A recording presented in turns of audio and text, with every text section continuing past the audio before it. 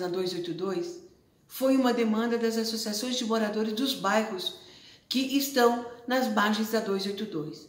A instalação adequada dessas passarelas é fundamental porque garante a segurança e a certeza de que os pedestres vão se utilizar da passarela para atravessar de um bairro para o outro.